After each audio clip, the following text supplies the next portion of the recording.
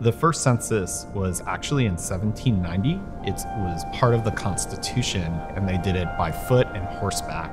The 2020 census, doing a survey of over 330 million people, is a really tough problem.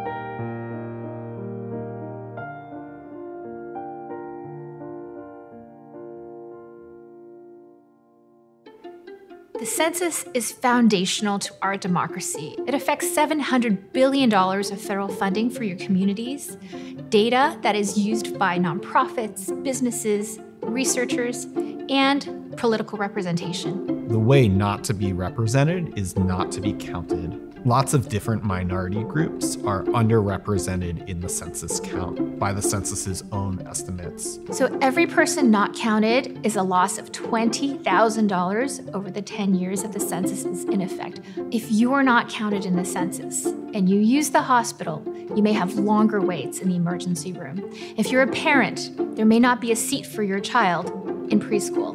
If you drive on freeways, there may be more potholes because there's no funding for those road repairs. Community Connect Labs is a nonprofit software developer, and we help nonprofits and governments reach hard to count people. Like Amazon, we're obsessively focused on users and meeting our users where they are. The latest estimates are around 90% of the population has access to a cell phone. Cell phones have become indispensable ways for people of any income level to access services, to get jobs. With the AWS Imagine grant, we're building several tools including a chatbot, which we're calling a help desk that will provide confidential answers to census questions in multiple languages through multiple channels, including text messaging and other mobile messaging applications. For us, the census is really systems change work. We want government and service providers to see firsthand how using mobile messaging technology as part of their services is crucial in order to provide high quality services to the hardest to reach populations. Working with nonprofits and government on the Census 2020, we've hold ourselves to high standards for security. And with the help of AWS, we've been able to pass security assessments from governments, such as the state of Minnesota and others, and we've been able to really be able to do the work that we want to do.